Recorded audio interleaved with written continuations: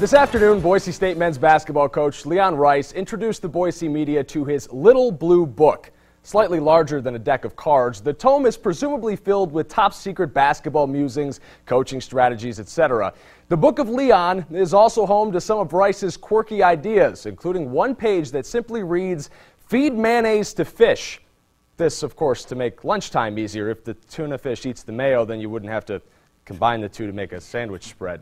Whatever method there is to Leon's madness, it's working for the Broncos. Boise State has won six straight Mountain West games, and according to some bracketology experts, the victory over San Diego State Sunday might be enough to bump the Broncos into the NCAA tournament field.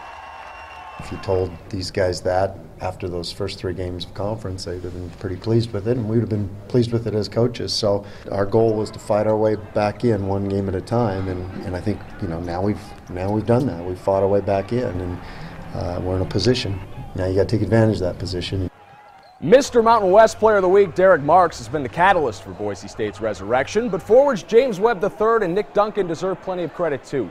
After struggling from the field for a long stretch, Duncan is back to his usual self, hitting 15 of his last 25 three-point attempts. Webb has hit 20 of his last 32 shots from beyond the arc and has scored in double digits in six of his last seven games. Both credit assistant coaches for their recent improvement.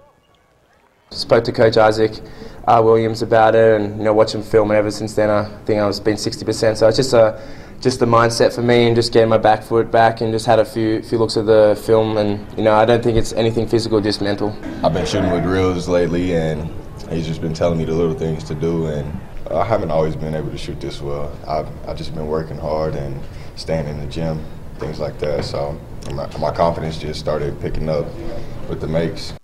Over 9,000 tickets are already out for Sunday's matinee against San Diego State. The Aztecs are tied with Wyoming atop the Mountain West at 8 and 2.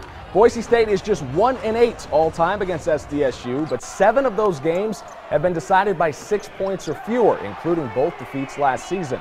Rice said this year's matchup uh, matches up a little better against the Aztecs, but San Diego State is still more athletic on the whole. We've got one James Webb, they've got four or five of them. I mean, there's a big difference between Jeff Elorriaga, God bless him, and athletically, and and San Diego State guys. And you're not going to match them athletically, and we, at Boise we probably never will. But the gap maybe closed a little bit.